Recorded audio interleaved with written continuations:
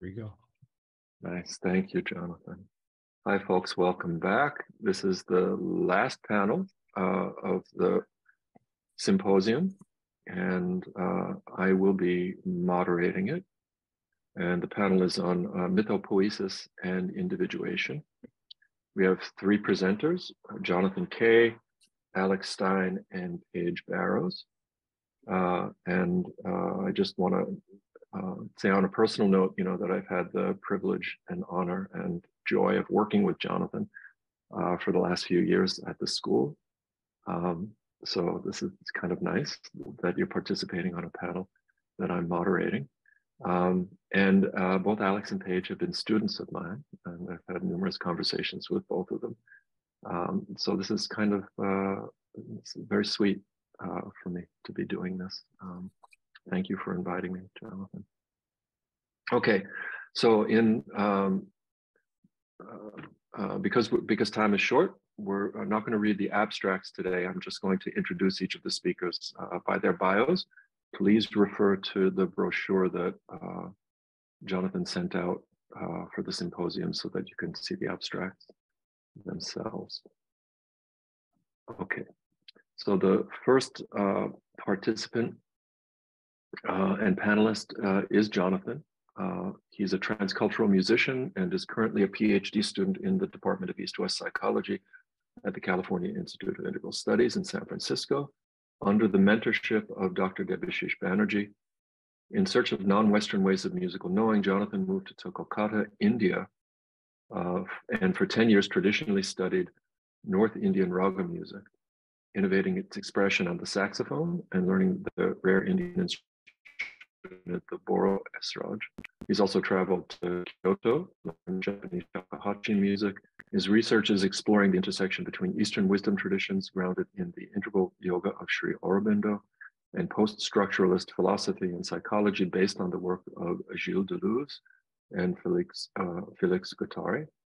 As a practitioner in arts-based research, Jonathan is exploring musical philosophical horizons between thought and sound and his original music is based upon heterocultural and transnomadic experimentation through contemplative models of improvisation. Jonathan uh, also um, uh, records and publishes records. Um, uh, and I think is this is the, is your the website uh, www.jonathank.ca? Will that link uh, people also to the music? Absolutely. Yep, videos and audio. Okay, wonderful. Anyway, Jonathan, please take it away. All right. Thanks, Stefan. It's an honor to be here. I'll just get my start sharing and just confirm that you can see the, the full screen. Yes, it looks like it. All right. I'm just going to give us a little some sonic uh, something to start.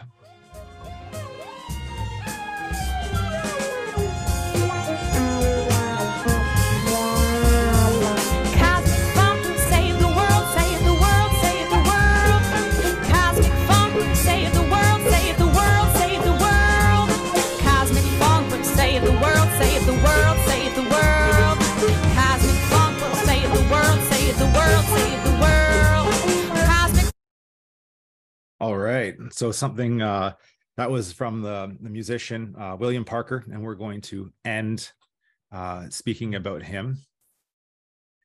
Um,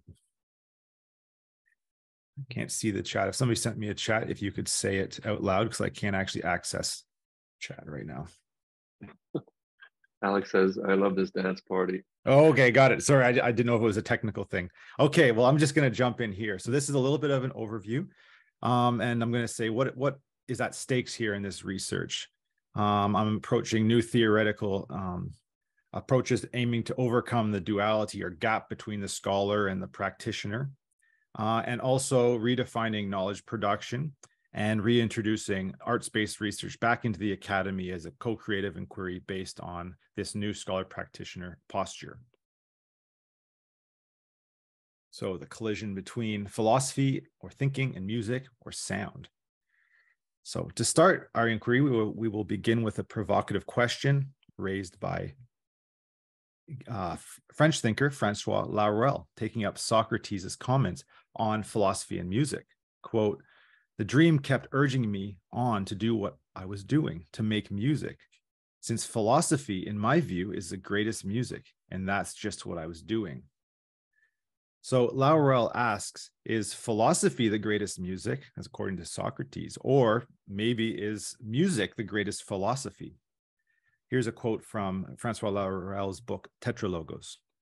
Quote, what is the most beautiful and greatest amongst the arts of the soul, philosophy or music? One relatively to the other? Is music the most beautiful of philosophies? Philosophy being thus compromised as a norm and value for music, or is philosophy the most beautiful of music? Thus, to intensify this question, we are given the conditions to be able to ask ourselves if music thinks, even if probably it does not think like philosophy, but perhaps with the help of philosophy. And in this case, that we take um, what sorry, what we take as a very risky anticipation. It is music that would contribute towards thinking philosophy. Okay, so we have um, a diagram here I'll, I'll get to in a second. According to Laruelle, since the time of Socrates, philosophy has granted itself the authority to think about music, therefore over determining music through its discourse. Philosophy, and therefore musicology, has instated itself as first, quote, or superior discourse based on what he calls the principle of philosophical sufficiency. This means that through an internal auto positioning function called the philosophical decision, philosophy always has a meta positionality, which gives it the hallucination that it can actually think about music and thinks on behalf of music. And that's number one in this uh, diagram view from above. Laruelle's non-standard philosophy aims to overcome the problem of thinking about the real, or music in this case, and rather asks us to think from the real, or music. This can be understood through musical experience, in which music is spontaneously generated from a lived experience without the need of thetic self reflexivity. following Laruelle, we can ask um, Can music think on its own terms without the need of philosophy? If so, as a scholar practitioner, can we find a way in which music thought can co creatively meet philosophical thought?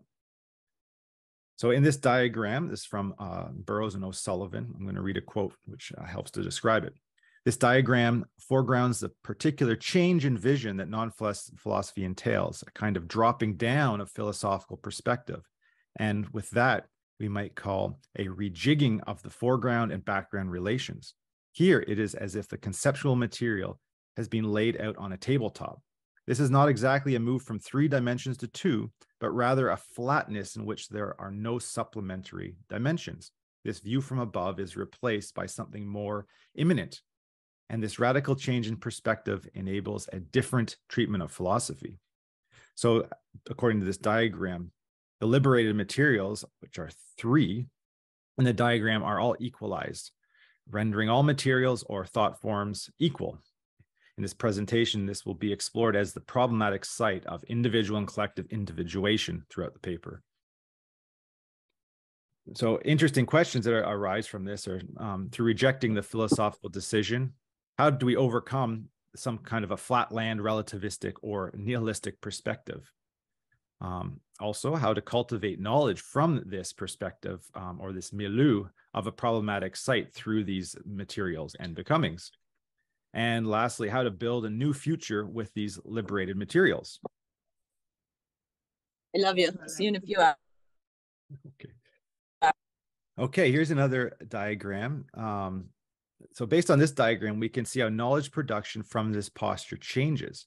By refusing the philosophical decision, one doesn't allow what we normally call thinking, um, according to a dogmatic image of thought, to intervene in order to think about a subject or object but through a spontaneous action of unilateral performativity and causality, Laruelle calls determination in the last instance. Um, one non thetically performs a creative solution to a problematic field of individuation. So this site refuses the authority of any one master or meta discourse, which is uh, depicted here in two, and therefore changes perspective. We go from one directly to three. We can see that's not a dotted line. Uh, rendering all thoughts and other materials to be equally equal and unequal. Um, and this creates the space of four, which he calls fictioning. Okay, so this the conditions of thought, axiomatic versus problematic formalization. So from this theoretical understanding, we can now more formally understand how we are breaking from transcendental models based on axiomatic universals, axiomatic methods, um, which I mentioned is also called a dogmatic image of thought, to models of immanent knowledge, and that's based on the model of the problematic. Each uh, uh, approach leads to different kinds of formalization procedures and generates different kinds of knowledges. An immanent approach to the conditions of thought must be born from experience and not and not deduced from a priori givens. Therefore, the dogmatic of image of thought starts with an axiom um, and proceeds to describe a problematic. For example, Platonic transcendental ideas or Kantian transcendental idealism. So Laruelle inverts this order so as to start with a problematic encounter or event in which no solution is pre-given. It starts with real conditions and gives rise to abstractions through finding ideas from these unique and immanent conditions. Gilles Deleuze, a contemporary thinker of Laruelle, is also a thinker of immanence and deeply theorized the dogmatic image, image of thought in his uh, 1960, uh, 1968 book, Difference and Repetition, and, and is aiming to, to, to work and overcome the same problem and, and privilege and foreground the problematic here. Here, he is helpful to help think through the differences between axiomatic and problematic form, formalization. So in this diagram or in this slide here, we can see um, how they are, are different. So axiomatic starts with pre-given a prioris. They can they exist independent of experience. Uh, there's closed system. It leads to major sciences uh, like Euclidean geometry, for example. And in Deleuze's language, um, he he thinks through extensive and intensive magnitudes. And so extensive magnitude is a qualitative, uh, a, rational deduction and a representation. Um, cardinal numbers are one way to understand this. And this is uh, privileged by the, the rational and analytical logics of sense. And ideas are come first, the axioms here. Problematic, as we can see on the right side, is a posteriori. It's an open system. It's rooted in empirical conditions um, and it's uh, intensive magnitudes, um, which is felt through sensations and is a qualitative multiplicity. Ordinal numbers are a better example, first, second, for instance. Um, and this is uh, privileges sensation. And from this perspective, ideas organize problematics into axioms. So we can see how we're rejuggling the order of things here. Okay, so quickly we're going to go through the sort of the summary of this method from my perspective. So from the perspective of a scholar practitioner, we must first identify our problematic field of becoming, which is performative and affective. From these conditions, we intuit the idea of the problematic, and from this formulate non-sufficient hypotheses in which uh, which organize experimental axioms, non-sufficient axioms from a non-philosophical perspective, which can generate uh, experimental, uh, individual, and collective individuation. Okay. So, heretical in, in, in individuation. So, non philosophy here acts as a new posture of experimentation beyond epistemic and authoritative boundaries, which overdetermine potentialities and possibilities within uh, the normative and classical models of thinking and subjectivity, this new posture, Laruelle calls a stranger subjectivity and opens to uh, new future imaginaries based on the method of fictioning. I feel this can also be called heretical individuation because it aims pr- to produce novel and new um, beyond any authority, unleashing creative imagination beyond epistemic boundaries. Here's a, a fantastic quote from our chair, Debashish Banerjee. Quote, our imagination operates to start with within epistemic bounds. This means there is an unthought to our thought, which we take for granted, just as a fish may imagine different forms of, of ocean life, but not a life on land, unless it either finds its experience extended by circumstance to include land, or its imagination receives a jolt or a bolt of lightning that pushes it out of its epistemic shell into a new quantum of perception. Yet such things do happen, and the pioneers who imagine from such out of the box conditions begin to give us new ideas and new epistems along, um, along with which to imagine. So this section is called axiomatic heresy. We're breaking axioms here, fabulating and or fictioning a people to come. Okay. So now that we have arrived at the ruins of philosophy and are beginning to understand how to free ourselves from the dogmatic image of thought and the philosophical decision, there remains a question of how to proceed. Are all thoughts equal? Are all materials equal? How do we avoid that relativistic and uh, flat land? Um, of course, this is not this is opposite of what Laruelle and Deleuze are trying to accomplish.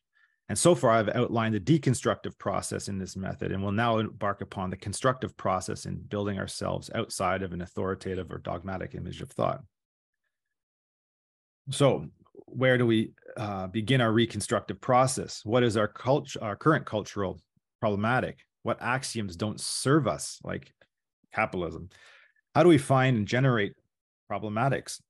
Uh, how do we find new ideas within these uh, um, problematics? How do we create concepts, find new new affects, and set new axioms that can help make new futures? I'll now turn to Deleuze to, to think more about the, the role of the arts in fictioning a new future. So, quote, the more our daily life appears standardized, automated, and that's also, me, think axiom here, stereotyped and subject to an accelerated reproduction of objects of consumption, the more art must be injected into it in order to extract from it a little difference. It's an act of resistance against and an active struggle against the separation of the profane and sacred. This act of resistance in music ends with a cry. Here's a quote from Laruelle Art is the world without the world, the entire world, but without its overdetermining concept. Okay. Okay, so here's a slide called Mythopoiesis and the people to come. So Deleuze in his books on cinema speaks about a people to come in which art, understood as a logic of affect, is an important aspect in the invention of a shared future. So quote, this is this is a quote not on the page. The, this acknowledgement of a people who are missing is not a renunciation of a political cinema, but on the contrary, a new basis on which it is founded.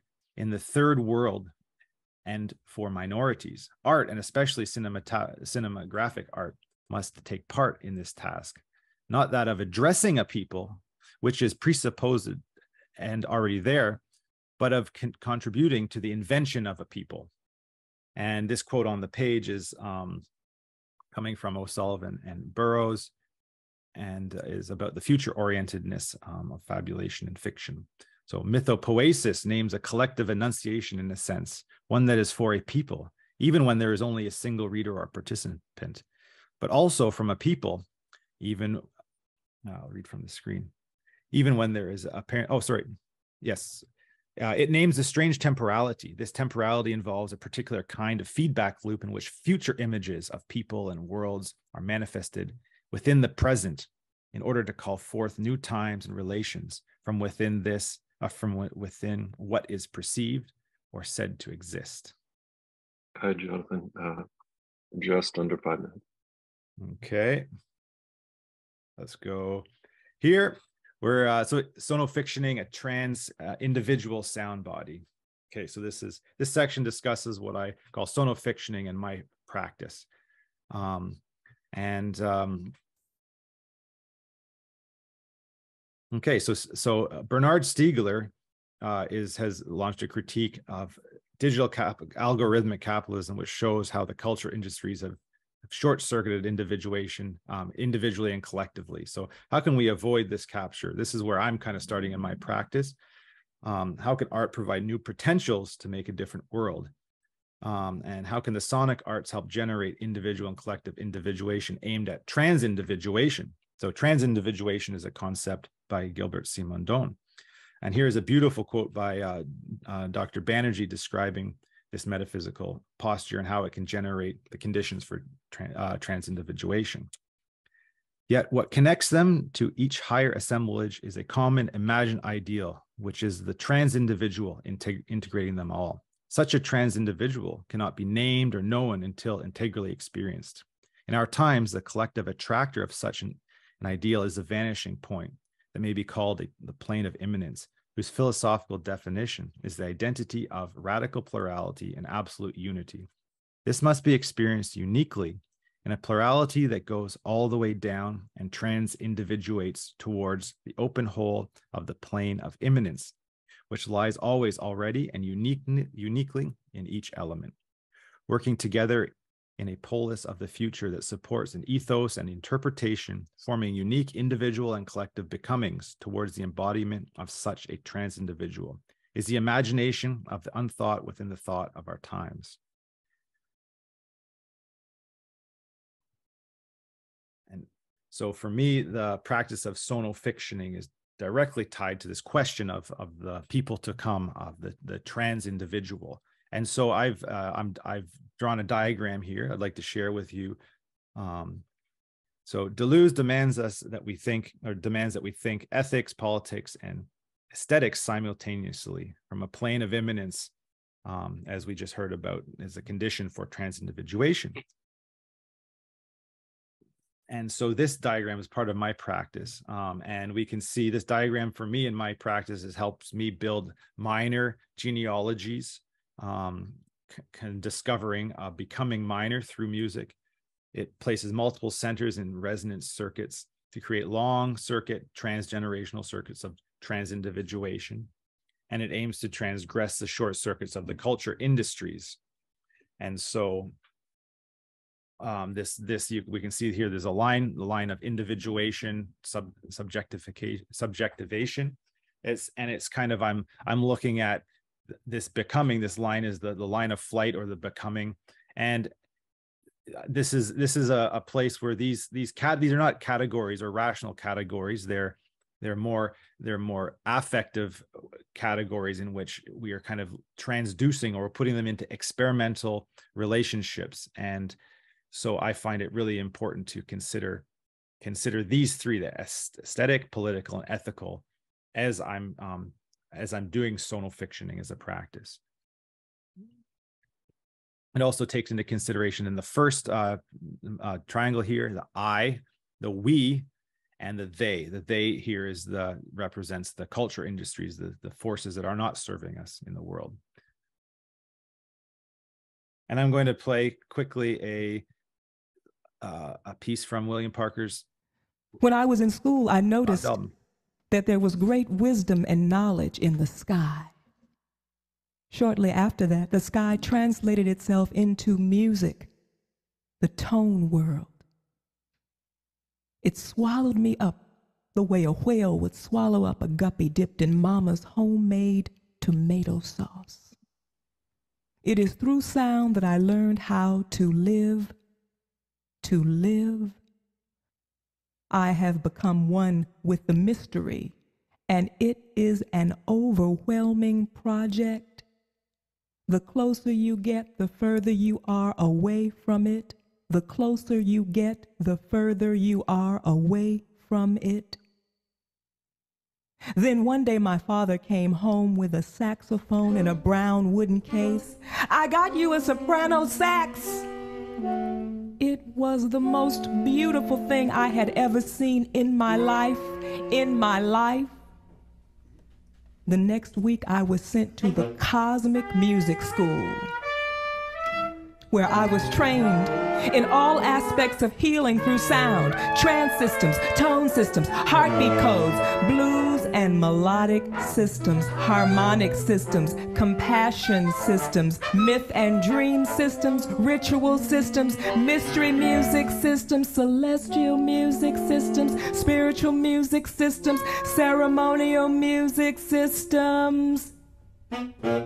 It was a revelation, this study, learning that life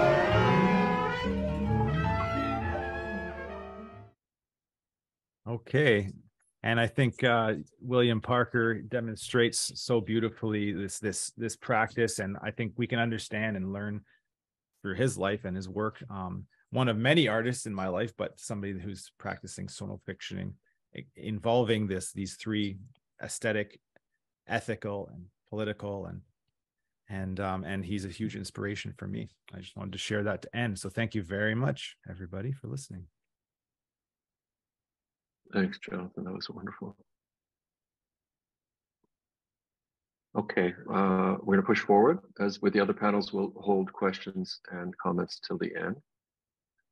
Uh, so the next presenter, Alex Stein, uh, explores the many-faceted nature of consciousness and the cosmos through the lens of Hermeticism, Tantra, depth psychology, neuroscience, astrology, and psychedelics.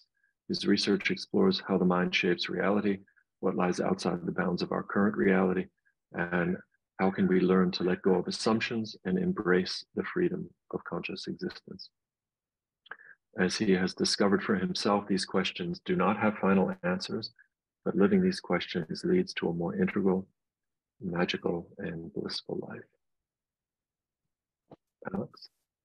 All right, thanks, Stefan. Um, here we go. Let me just share my screen. Okay, so I'm calling this presentation Mind Spells, and the basic idea that I'm that I've got here is that we're essentially casting magical spells with our thinking constantly, whether we know it or not. And now we've all heard this kind of it's a big new age cliche at this point this this phrase your thoughts create your reality and it's the kind of thing that you know if we swallow it naively it's like okay you know it's kind of an eye rolling sort of a thing um but is there a deeper basis to it? Is there some reality to it that we can that we can get into? So that's what i want to explore.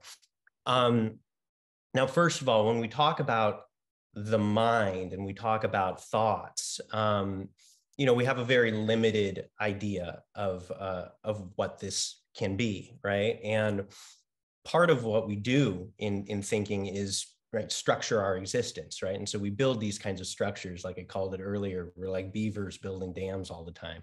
Um, but i want to expand i want to still use these concepts use these words but expand the possibility of what they can mean to open into something wider so that we can kind of feel into a, a deeper thing that they're pointing to rather than be limited by them. So if we're thinking your thoughts create your reality it's worth kind of bearing uh, in in the back of our mind the questions you know who are you? What is reality? And what is a thought? So you know for the purposes of this presentation i'm going to define thought and i want you to to if i'm talking about thought i want you to kind of have this notion in mind that it can be any structure or impulse whatsoever in the psyche. So that can include, of course, conceptual thoughts, words, uh, images, memories, uh, that sort of thing, language, but also uh, emotions, instincts. Um, and, and if we're thinking in idealist terms with consciousness as the sort of basis of reality, literally anything that, that we might experience, right? Um, so now this, this is where I want to bring magic in. Okay. So the my favorite definition of magic comes from Chris Gosden, who says that in magic, people are open to the workings of the universe and the universe is responsive to us.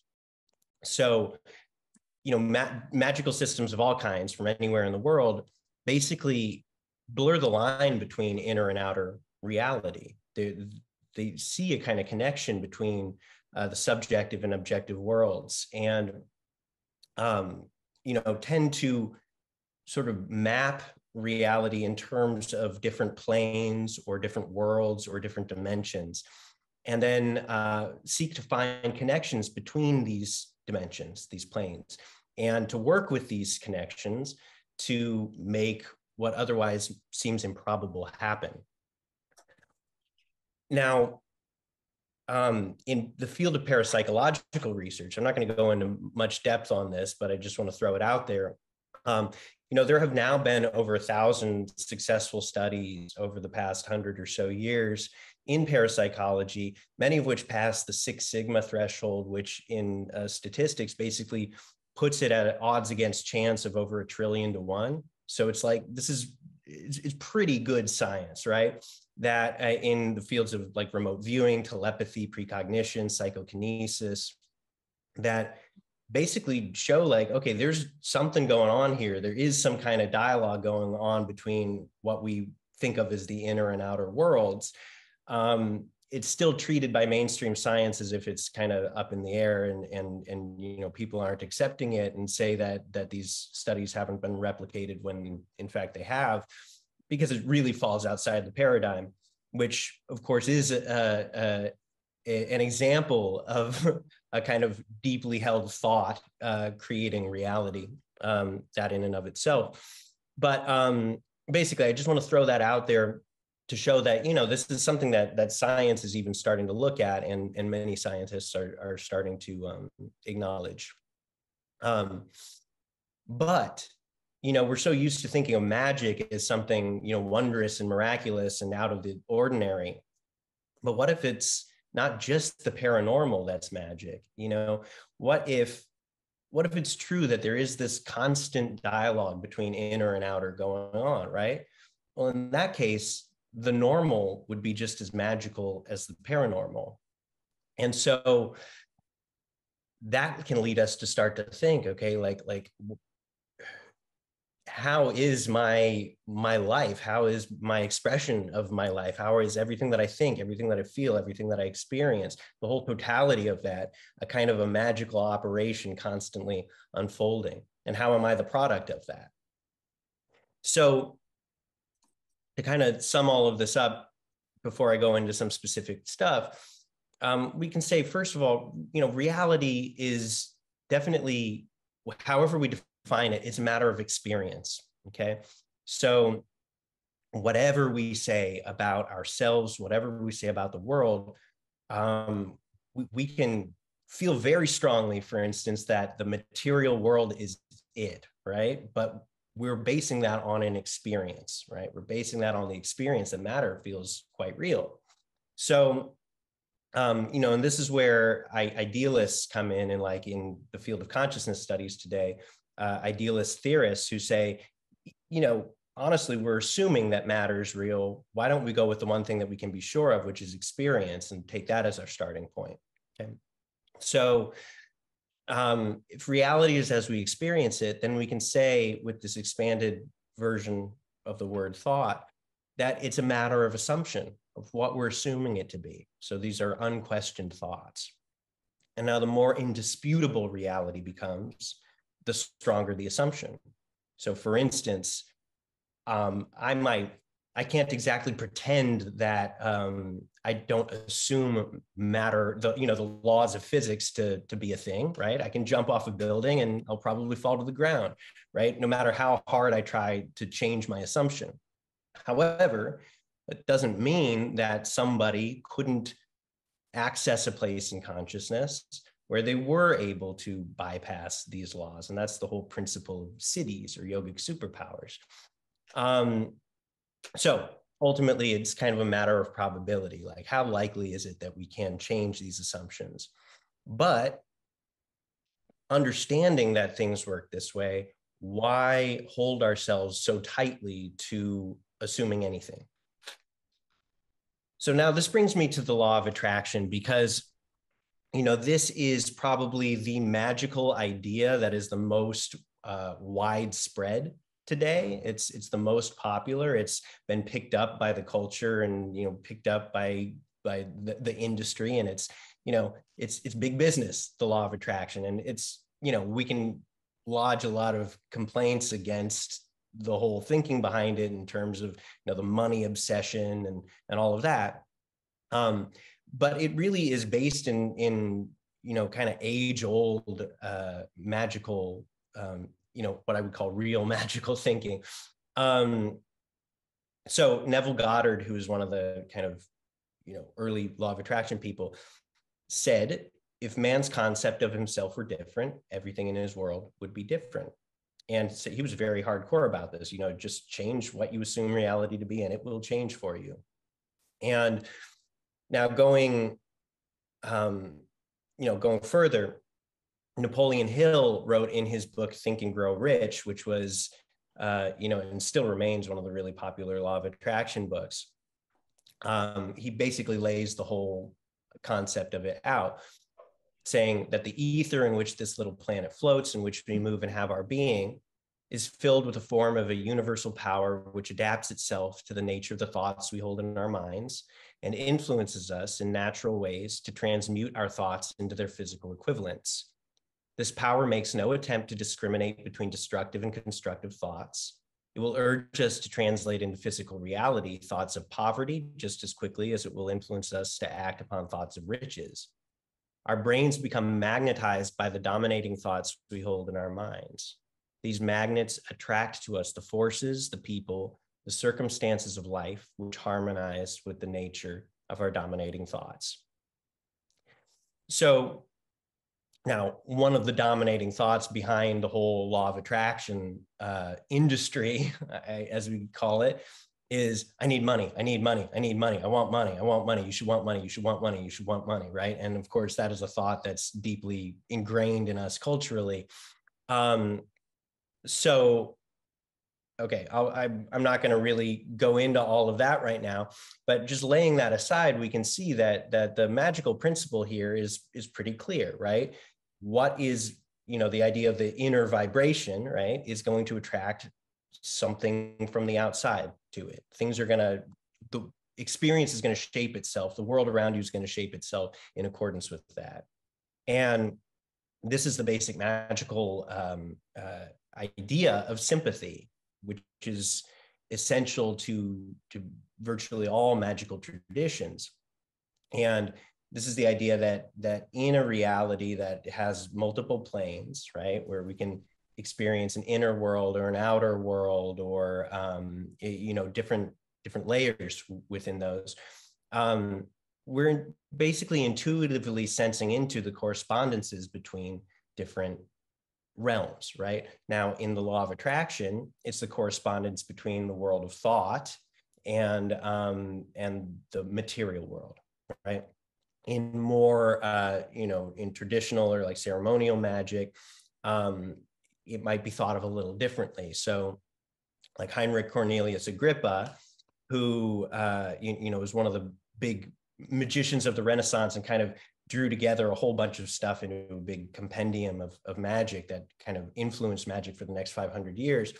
Um, you know, he goes into uh, what they call natural magic, where you're using objects from nature to to combine to make spells to make something happen. So he gives the example, say, of if you want to create a love spell, you should get an animal that loves, like a turtle dove. You should get its uh, sex organs and you should get those at a time when it's mating and you should combine these together and you should do this when venus is in the right alignment venus the planet of love and do the right thing and you know your your will be effective. Um, now I, I don't recommend anybody go and do that.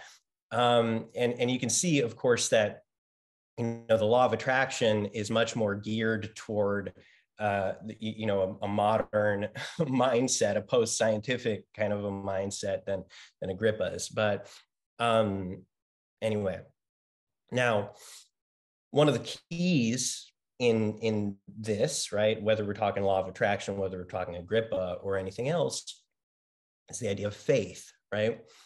Um, which which I see as basically trust in these assumptions, right? That that you go deep enough and we all have some faith in something right? There's something that we unquestioningly trust. And this is one of the keys to, to the outcome. Um, hill napoleon hill says faith is the eternal elixir which gives life and power uh, and action to the impulse of thought. And then um, agrippa you know writing about 500 years earlier says since such great things are possible with steadfast belief, miracles can even be performed by false operations and opinions. Hesitant belief and disbelief invalidates the desired effect, even though the experiment might be very strong. So basically what Agrippa is saying here is, you know, you can be, you know, chanting all the right words and you, you know, you got the things from the turtle dove and you mix them up at the right time with Venus, but if you don't believe it, nothing's going to happen. But on the other hand, you might be doing uh, great, um, or or you might not, you might believe it very strongly and not have all that stuff in place and get your effect. So, yes. Now, when we apply this to to ourselves, right? Um, think, okay, what is it? Where is that faith, that unquestioned faith in us? And and how does that get? Is it possible to leverage that? Is it possible to change that? Right. So of course, this comes from paradigms. This comes from cultural assumptions. This comes from what we consider to be common sense or our lived experience. Um, so as I already kind of noted, right, the law of attraction is formulated in scientific language, right? And it's coming out of the 20th century. And so it's like, okay, that makes sense. That's going to speak to more people than the language of ceremonial magic, which, um, although it's, you know, people practice ceremonial magic, it's very fringe thing in relation to law of attraction, um, which is more rooted in in a religious uh, atmosphere from which it arose. So, but this idea of of can we do better? You know, uh, do we need to be slaves to our paradigm, to our culture, uh, to our our experience, to our basic assumptions about ourselves? Uh, that is a that's one of the essential questions I think in magical practice. Um, okay, Alex, so now five five minutes. Okay. Um, so one of the things that that really comes up here, anytime somebody tries to to you know make something happen, right, and and all of this positive thinking type of stuff, um, inevitably faces us with the fact that whatever the mind is is a hell of a lot bigger than than we uh, think it is, right, for the most part. Um, so Jung would agree with the basic idea that I'm putting out here, which is that that experience is the basis of anything we can talk about because it's all an experience. Um, and of course, Jung gave us the concept of the shadow. And you know, if somebody's sitting there trying to do positive thinking and manifest, manifest, manifest, chances are they're going to have to deal with this. You know, and Jung here says when one tries desperately to be good and wonderful and perfect, then all the more the shadow develops a definite will to be black and evil and destructive. People cannot see that. They're always striving to be marvelous, and then they discover terrible, destructive things happen, which they cannot understand. And they either deny that such facts have anything to do with them, or if they admit them, they take them for natural afflictions, or they try to minimize them and shift the responsibility elsewhere. The fact is that if one tries beyond one's capacity to be perfect, the shadow descends into hell and becomes the devil. So, as far as living in a magical world, you know, whether we're magicians, you know, and, and we actively do magic or we try to manifest things or we try to make anything happen. If we if, if we're even just trying to make a better world like we're all trying to do here, right? We start to see that that when we're approaching it purely from the level of the mind, we're in a labyrinth. I mean, there is no end to the structures that will just proliferate my you know structure upon structure upon structure upon structure so what to do right? Now the idea always in these traditions has been around gnosis um, and, and similar in both eastern and western traditions and i'm just in the context of this i'm looking at hermetic gnosis but you know the idea is that basically it's absolute direct knowledge and insight into reality itself leading to a spiritual rebirth that it's essentially a bypassing of all of those structures and just a knowing right who you are who reality is and what the mind really is beyond um, this this machine that's always building these structures. And the interesting thing of course is that you know as as mystics have always attested when you tap into the, this dimension of, uh, of, of consciousness you know, magical powers do manifest, and that's the idea of the siddhis uh, which are attested to also in the Western tradition. So, um, so you know, the the question then becomes, you know what to do upon return right if if you have a practice that brings you to gnosis whether it's through meditation or psychedelics or or prayer or, whatever or just being in nature then what is the the job of the little mind right the one that's working with concepts and forming ideas and perspectives and i think it's the way that I like to imagine it is like it's like a hand on the rudder, right? That that we don't know what reality is. The mind is not supposed to actually figure this out. It's just to be a hand on the rudder in this infinite existence that we that we live in. Um, so now, just to to close this up, um, you know, Dean Radin in his book Real Magic, he says that the essence of magic boils down to the application of two ordinary mental skills attention and intention. And so when a magical practitioner is trying to make something happen, right, they will hone their attention and they will focus their intention and and enter gnosis and come back and do this, right? Now, the question in the ordinary sense, in this existence that is constantly 100% all the time magical, is what is it that draws our attention? And what is it that is that is intending through us? And, and can we get a sense of what shapes our attention and intention at all times? Um, and finally you know before we think speak act do anything we can ask ourselves what spell am i about to cast so that's it thank you for listening Thanks, Alex. That was wonderful.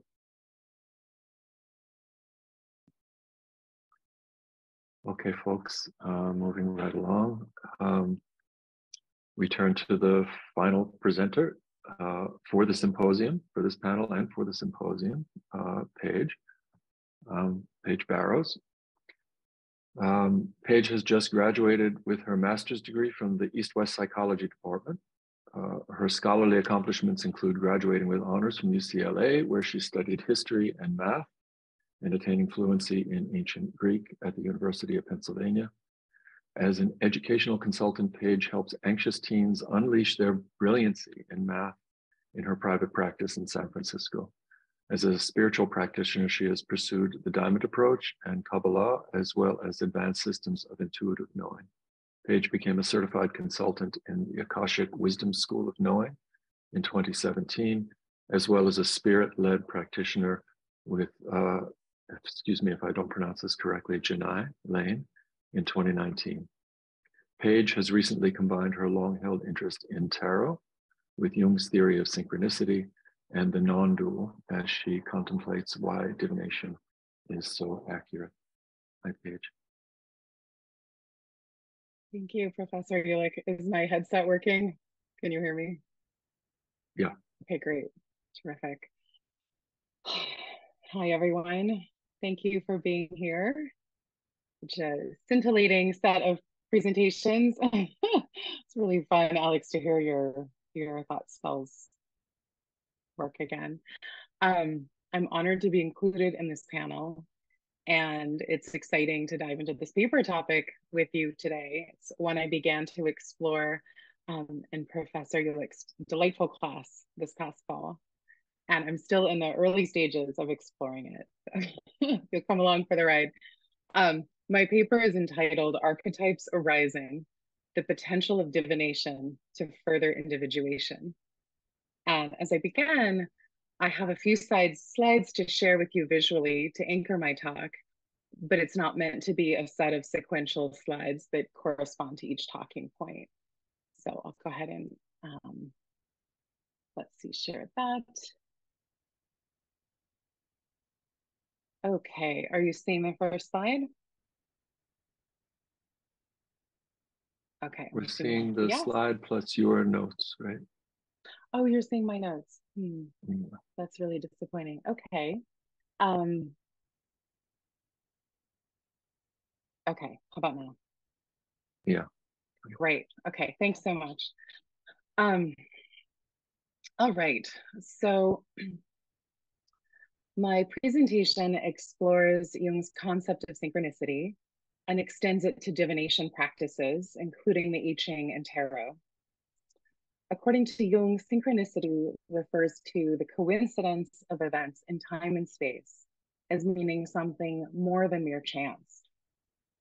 This paper will explore the possibility that the results of a tarot reading can be considered an intersection of psyche and the material world, where archetypal messages and symbols from the collective unconscious are revealed to the querent, the one asking, in a moment of time.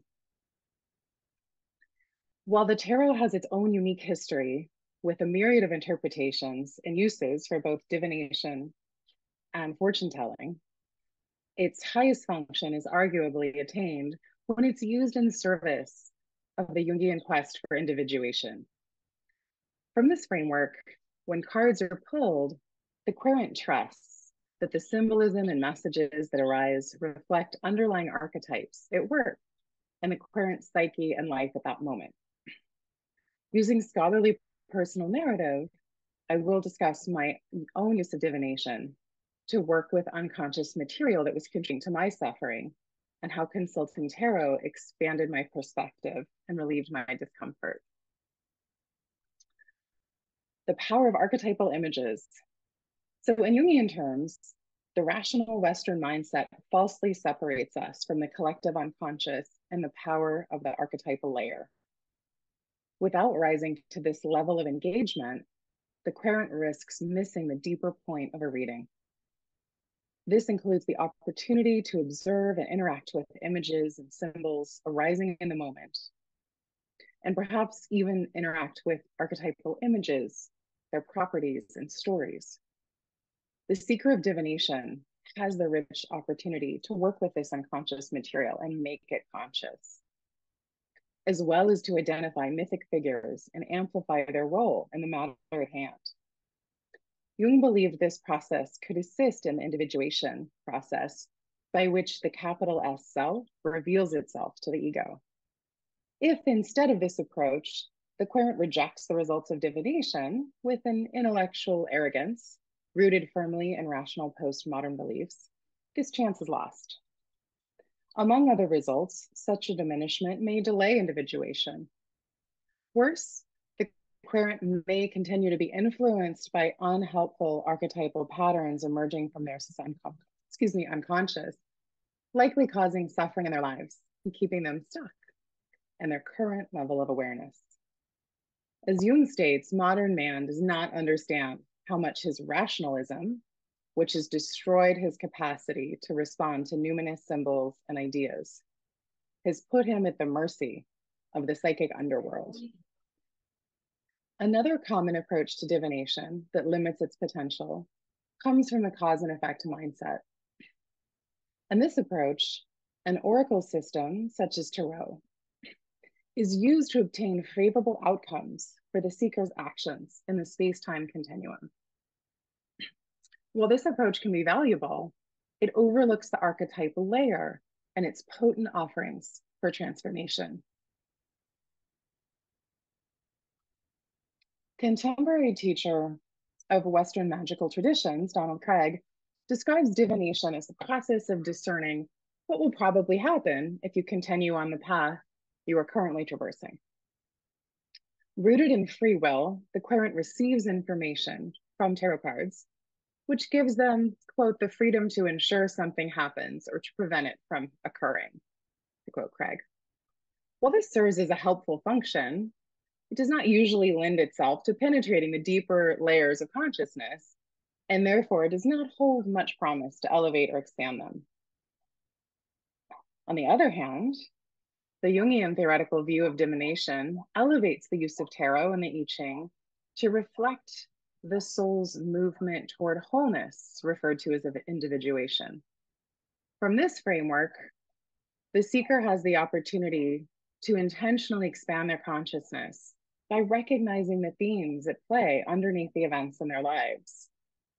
The cynical, rational minded querent may pursue a reading as a novelty and then assimilate it with their ego mind. Rather than recognizing the jewels the reading might contain concerning individuation, the ego classifies such an experience as merely having had a tarot reading. However, if the querent opens to the messages from the unconscious layer that emerge in the reading and recognizes the themes, symbols, and even archetypal patterns or myth at play in the reading and their lives, rich opportunities for illumination and growth can result. Such approach to divination offers the querent the chance to identify an archetypal image presenting as a recognizable myth in their life circumstance or psyche. This might be facilitated by the tarot reader and their interpretation of the results, or by the querent, the one asking if they're drawing their own cards. With such recognition comes awareness of the patterns at play, and through this witnessing, the expansion of consciousness. It is an alchemical psychological process defined by synchronicity rather than linear causality. Jung incorporates concepts from physics to elucidate this concept. Since experience has shown that under certain conditions, space and time can be reduced to almost zero, causality disappears along with them because causality is bound up with the existence of space and time and physical changes and consists essentially in the succession of cause and effect. For this reason, synchronistic phenomena cannot, in principle, be associated with any conceptions of causality. And I feel like the the recent developments in astrophysics with entanglement theory would would have rocked Jung's world and will provide further really interesting kind of mergers of this kind of spirituality and science moving forward as more is revealed. Beneficial outcomes from this approach to divination um, could include the querent's ability to work with the myth or archetypal image present in the reading, and through thoughtful reflection and insight, change or rework the dynamics of the story to a higher level outcome. This might entail working with the part of the querent's hidden inner life, now made conscious, to create a more appropriate and desirable outcome to the situation. Such an approach presents an opportunity comparable to that of engaging in parts work with the internal family systems theoretical framework developed by Richard C. Schwartz. The results can include growth, expanding consciousness, and steps taken along the individuation journey. It should be noted that the consciousness of the reader and the querent affect the clarity of the symbols and archetypes revealed and how they are interpreted in the container of the divination practice. In the best case scenario, the querent would deepen their access to the self through the reading. Personal reflection, the art opening. So I had an experience a few years ago when working with an uncomfortable emotion that abruptly surfaced. My partner and I had been dating for about a year or so when a friend of his invited him to an art opening debuting her latest work. I couldn't attend due to a work commitment, he planned to go without me in support of her. I was startled by the amount of jealousy that came up for me over this prospect. But in the spirit of complete truth and authenticity that characterizes our relationship, he had previously confessed fleeting but occasional attraction to her. This had never been acted upon as she'd been married to another man during the duration of their years long friendship. Moreover, he assured me she'd always had immaculate platonic boundaries with him. Were this not the case, he explained that she possessed the combination of qualities that he'd always hoped to find in a partner compassion, warmth, sparkle, creativity, kindness, inner and outer beauty. I understood why he would have felt drawn towards her at times. She's a lovely and delightful person whose warmth and artistic talent delight all who meet her. Given their strictly platonic relationship, however, the intensity and sudden arrival of my envy seemed completely unfounded. My rational mind craved an explanation, and I was un- uncomfortable with this strong shadow emotion at play. So I engaged in divination, hoping to find relief and answers. From a Jungian perspective, divination is enhanced by, quote, a receptivity marked by non attachment with the releasing of prejudices and preconceptions, which allow the reader to become, quote, open to archetypal possibilities. Is quoted in Cambray. Therefore, in seeking answers, and as a way to lessen my jealousy, I meditated for a few minutes, then shuffled my Druid Tarot deck. I drew the cards with my eyes closed, using intuition to sense which cards to pull, then placed them in the traditional Celtic cross format. Astonishingly, the resulting tarot cards included the Princess of Cups, representing the artist, the Queen of Pentacles, representing myself, and the King of Hearts, representing an aspect of my partner. Working with the symbolism and archetypal images of the cards that emerged, and using a process of amplification, like one might with dream imagery, an entire story arose from the reading. What emerged was the story of an imbalanced royal family during the Renaissance period. The Princess of Cups was adored by all, sheltered and indulged in every sort of creative outlet and lesson. She played the harpsichord in the rose garden of the castle and mastered drawing and painting with watercolors. Her elder sister, the hardworking queen, was drowning in duties and pressing responsibilities. But in spite of her challenging role, the queen's deepest affection was with her younger sister, the princess. Her errant husband, the king of hearts, was an indulgent philanderer who drank and romanced his way through the kingdom, while his wife, the queen of pentacles, ran the entire kingdom from behind the throne. The queen was bitter, exhausted, martyred, and frustrated by the patriarchal system in which her husband had enjoyed the power and glory of his position while she did all the work. I was able to see that in many ways I had embodied themes from the Queen of Pentacles flight. My life was overly encumbered at the time by my work commitments as a single woman in San Francisco in private practice. My clients were the children of titans of tech and finance living in castles in Pacific Heights kings of Silicon Valley. I had suppressed my Princess of Cups qualities, both my feminine nature and artistic side, by being overly focused on my business and clients. This was a much more linear and less colorful outlet for my creativity than my soul craved. I dreamed of a more balanced life in which I could express the yin and yang qualities of my soul appropriately, and in particular, my artistic nature.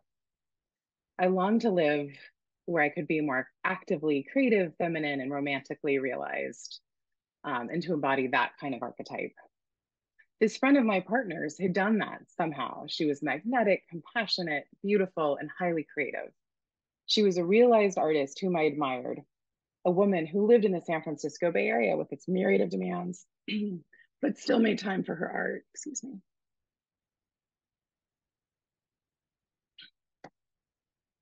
I saw that I was envious of her ability to prioritize her creativity, even as I liked and admired her. The king and queen cards in my reading actually reflected the imbalance within my own inner royal couple. Jung describes the queen and king as archetypal images used by the self to reach the surface of the mind's awareness. In his collected works, Jung states, because of its unconscious component, the self is so far removed from the conscious mind that can only be partially expressed by human figures. The other part has to be expressed by objective abstract symbols. The human figures are father and son, mother and daughter, king and queen, god and goddess. Myself was similarly reaching through the unconscious layer with symbolic representations of my situation. In the story that unfolded within the archetypal images revealed by the cards, I was able to see that both within my psyche and life circumstances, my inner queen took on the many responsibilities of running the kingdom. The king, meanwhile, had plenty of time for recreation and romance, just not with her. It was an embittering situation. The advice and action cards I drew included encouragement to nourish and protect my creativity. The spread culminated in the powerful Ace of Wands card, which invited me to use my life force and will to initiate action toward my soul purpose. The lasting takeaway was not about an actual threat to my new relationship, but rather how much I needed to honor my own creative urges and create a sanctuary for my heart, younger innocent self, and inner artist. It's quite a process to work with this material, but by the end of the evening, my jealousy had abated, and I was able to listen with genuine, interesting care as my partner described the art opening with admiration, all, all while keeping my heart open to both him and our artistic friend. The reading helped me shift several rigid inner structures, offering the benefits of alchemy as I entertained its archetypal imagery and the story they revealed, one I had been trapped in without even realizing it. Perhaps my reading was more potent and accurate because I was genuinely seeking a higher perspective and the inner growth that would help me understand and integrate the jealousy, which had hitherto been hiding out in the shadow of my unconscious. As Brant Cortright states in his book, Psychotherapy and Spirit, quote, when being on a spiritual path becomes a conscious decision and pursuit, everything changes. Outer circumstances begin to yield to the inner spirit and the way opens up. Consciousness becomes engaged in its transformation. End quote. Divination page, can be page. a powerful instrument of such transformation. Sorry, Paige, about four minutes. Oh, okay, great. Um, so divination is an expression of non-duality. In the divination process, having an empty mind can be helpful for achieving clarity of outcome and accessing archetypal matter for both querent and reader. It's possible and even likely for the reading to be transpersonal in nature when two people are involved. At the highest levels, it can even reveal the morphic or intersubjective field between both participants even their non dual nature. Whenever readings involve two or more people, rather than just drawing cards for oneself, the concept of the intersubjective field arises. While primarily used in psychoanalytic settings to describe the shared psychic matter between therapist and client, it also fits within the context of divination addressed in this paper. There's much to unravel and contemplate in this interplay of spirit, matter, and psyche, and this paper attempts to open the subject for further inquiry and discussion. I'm grateful for the opportunity I've had to delve deeply into these subjects in the course of our class this past fall, preparing this paper, and now giving this presentation, as I've been interested in this for several years. Jung's exposure to the tarot led to his musings on the major arcana cards at a seminar on active imagination in 1933. Quote, you see, man always felt the need of finding an access through the unconscious to the meaning of an actual condition, because there's a sort of correspondence or a likeness between the prevailing condition and collective unconscious. End quote. Um,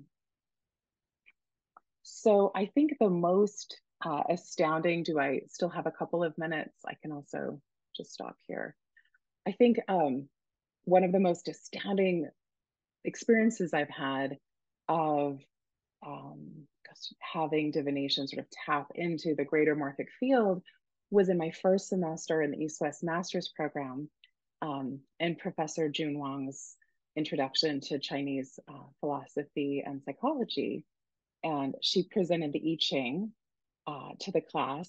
And I remember that Jung had written the introduction to the Wilhelm Baynes version of the I Ching and I was sort of excited about that and, and offered to present the I Ching to the class. Honestly, I did a terrible job. I didn't really yet understand what was required as a graduate student to give a presentation to the class. But it was, gosh, mid, I'm going to say mid to late February 2020. We were meeting on campus and um, she had me just flip through the book and open to the um, hexagram that seemed to be calling me in the class. And she reminded me at the East West party in February, for those of us who were local, which I'd completely forgotten, that I landed on um, hexagram 52 kin, keeping still mountain, above, keeping still mountain, below, keeping still mountain. Everything, the, the six aspects of this hexagram um, all refer to keeping still, the end of movement, keeping still, keeping his back still so that he no longer feels his body. He goes into his courtyard and does not see his people, no blame. Each aspect of this has to do with keeping still, staying home, staying within, and no blame. And Professor Wang uh, reminded me that that this um, I Ching reading came up for the class about three weeks before we were all blindsided by the shelter in place edict, which then, you know, defined the rest of that class in that year and obviously the, the several years since. So I think there is an extraordinary capacity at times for divination to even sort of tap into the broadest and largest morphic field that exists, which is, you know, that of humanity in a given moment. So thank you so much. What fun to share this with you. I really appreciate you all staying present for my presentation. Thank you. Thanks so much, Paige. That was wonderful. I also want to uh, just share a moment from the class. You you showed the uh, the reading, the the three card reading from. Um, I, I wrote it down here, and of course I've lost it now the uh, the deck, the Druidcraft tarot deck, and I remember in class that I had had a dream the night before, and somehow the way that those cards came up for you in that reading and that you shared with the class, it, it kind of explicated my dream perfectly, and this reminded me at the at the in the moment of exactly what you were talking about now, the the potential and the um, ability of uh, divination techniques and the tarot especially. I, am drawn to images myself so that uh, tarot and divination cards are very important in my own personal work. But the ability to to open up the intersubjective space uh, and i just thought there was just that moment of magic in the class on magic which i thought was magical so thank you thank you for that um, i guess just to kind of go over. I mean, there's just so much here, and uh, I guess um, for full disclosure, my brain's not working very well for the last couple of days. I've been having allergies, so I'm a little fuzzy-headed. So I'm going to try and like encapsulate this in a way that makes sense uh, to folks. I was struck by something that um, that uh, Hima said actually in the last panel. Uh, she quoted Hillman. Hima, I think it was you who quoted Hillman. Um, that beauty is the way that God touches our senses, reaches the heart, and attracts us into life. So it's kind of a strange attractor that straight, strange attractor that pulls us into life. And for me, the heart is really central to all of this. There's the image in, uh, you know, maybe the most classic image from uh, tarot uh, cards from the um, the Smith uh, the Smith drawing from the Waite Rider deck of the magician, right? holding one arm up and the other arm down, uniting the worlds within their own body.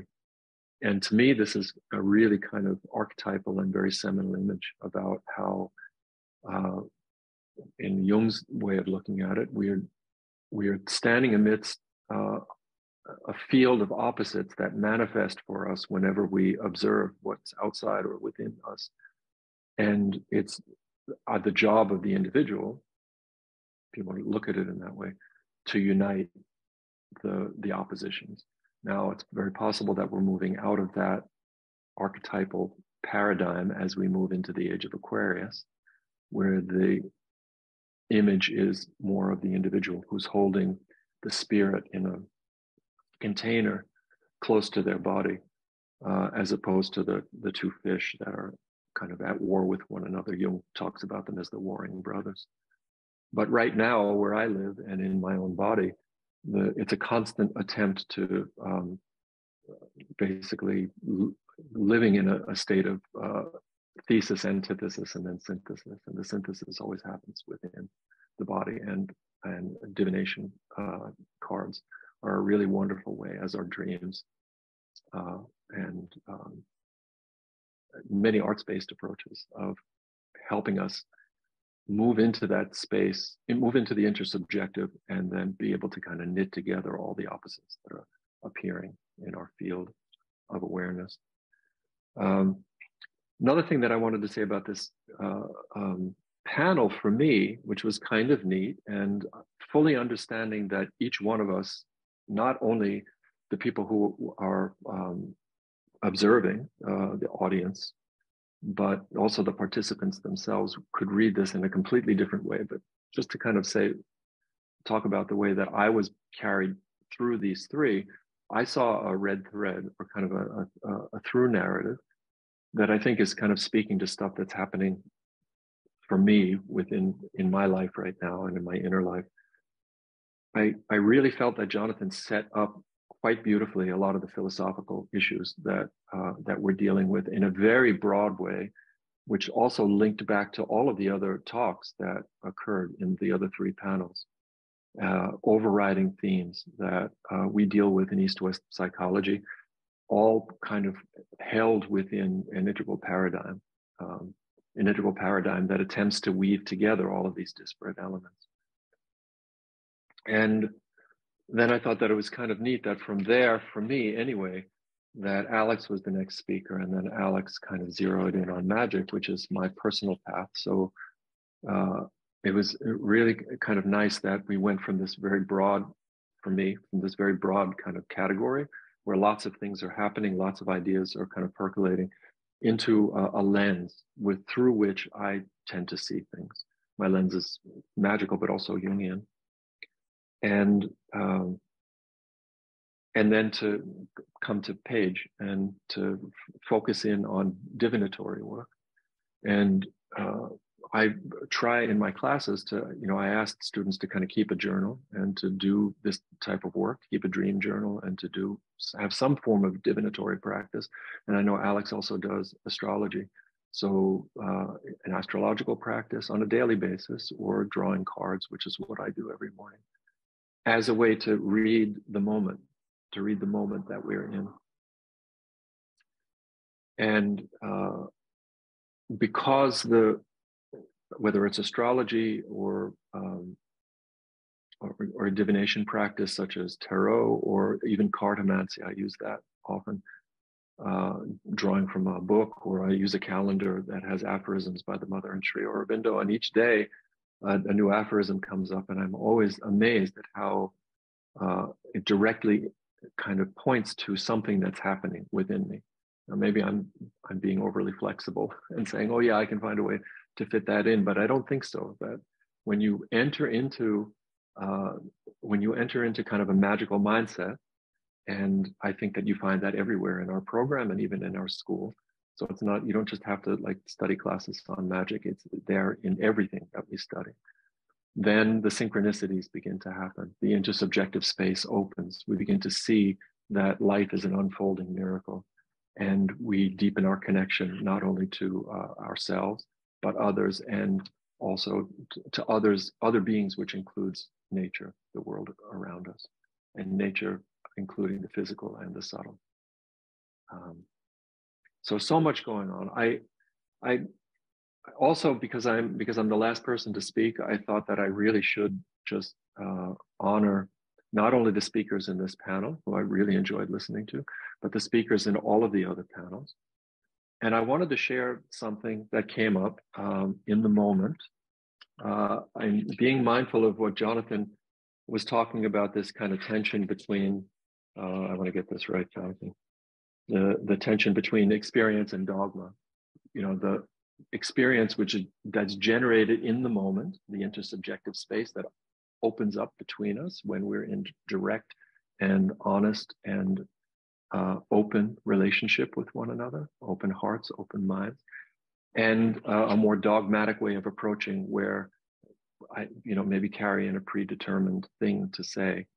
Uh, and I and I, I I worried over this today because, as I said, my mind is a little fuzzy, and I thought, well, maybe if I prepare something in advance, but I couldn't do it because I wanted to honor what was what was coming up, and so much was coming up just over the last two days, just watching all of the panelists. So I wanted to share something. I mean, maybe this is a little dogmatic because I'm going to something that was written by uh, written by Jung, and this is uh, something that I think that uh, it's a it's a fairly famous passage, and many people in in the room might already know it. But I think that it's worth reading again. It's very short, and uh, this has happened to him when he was in Africa on a place that's called the Athi Plains in Nairobi, outside of Nairobi. And it's uh, if you read uh, Barbara Hannah's book, her biography of Jung, she calls this one of the five enlightenment experiences that he had when he was on his journey to Africa. He says that from Nairobi, we used a, a small Ford to visit the Athi Plains, a great game preserve. From a low hill in this broad savanna, a magnificent prospect opened out to us. In the very brink, to the very brink of the horizon, we saw gigantic herds of animals gazelle, antelope, gnu, zebra, warthog, and so on, grazing, heads nodding, herds moving forward like slow rivers. There was scarcely any sound save the melancholy cry of a bird of prey. This was the stillness of the eternal beginning, the world as it had always been in the state of non being. For until then, no one had been present to know that it was this world. I walked away from my companions until I had put them out of sight and savored the feeling of being entirely alone.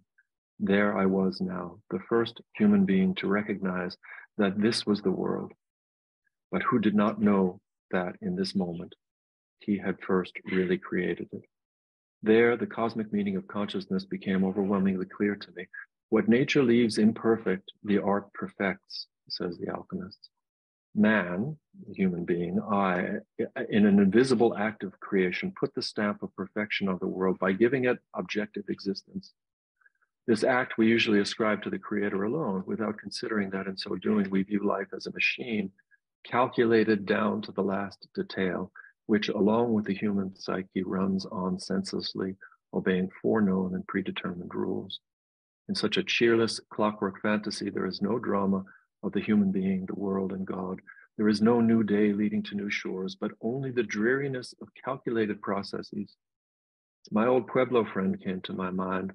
He thought that the raison d'etre of his Pueblo had been to help the Father, the Son, to cross the sky each day.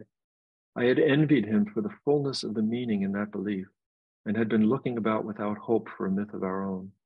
And now I knew what it was and knew even more that man is indispensable for the completion of creation, that in fact he himself is the second creator of the world who alone has given to the world its objective existence, without which unheard, unseen, silently eating, giving birth, dying heads, I'm sorry, dying, heads nodding through hundreds of millions of years, it would have gone on in the profoundest night of non being down to its unknown end. Human consciousness created objective existence and meaning, and man found his indispensable place in the great process of being. Now, there's, you know, we can take exception to this and, you know, look at all of existence itself as filled with consciousness. But I think that basically what he's pointing to is that there's something really special about uh, us, uh, and that we shouldn't lose sight of that in the face of all the atrocious things that we're capable of doing. That this simple fact that we're aware that we're aware is a miracle. And from that seed, so much good can come. And I think that CIIS and East West psychology, uh, especially, uh, if I can you know, uh, say that because it's uh, my heart home, uh, is a place where I think that people come from all over the world now to um, not just to learn that, because certainly we come to schools to learn, but really to uh, learn to express what is alive for them in seed form already. Some people come fully baked, they come as professionals with extraordinary careers and they they just come to kind of expand uh, what they already are doing in the world.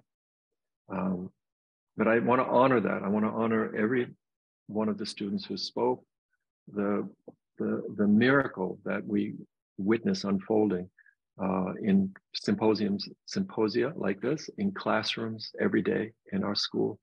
Um, this extraordinary commitment that people have to uh, reimagining the world and uh, moving into uh, uh a future together uh, where uh, magic and um, spirit and heart, soul, body are all integral parts of an integral whole that can all find expression.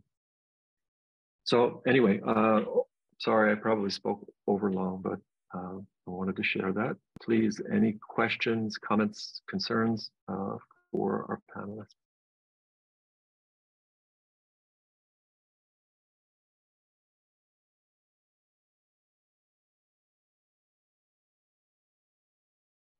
Jean-Michel.